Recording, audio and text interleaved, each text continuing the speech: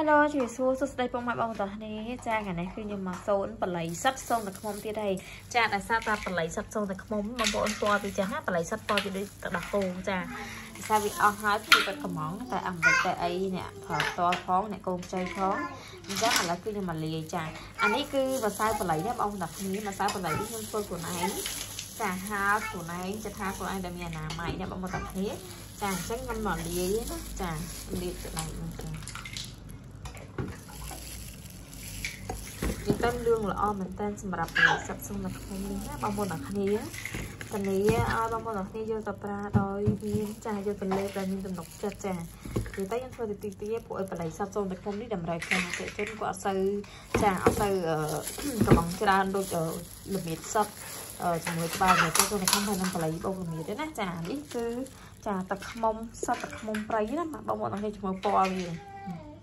ឃើញទេចា ចឹងបងប្អូនចាក់ឲ្យពេញគោវាសិនណាចាអញ្ចឹងសម្រាប់បងប្អូនដែលគាត់ចង់បានជាមួយនឹងបល័យសិតសូនទឹកខ្មុំអាចធ្វើការកម្មងបានអរគុណច្រើន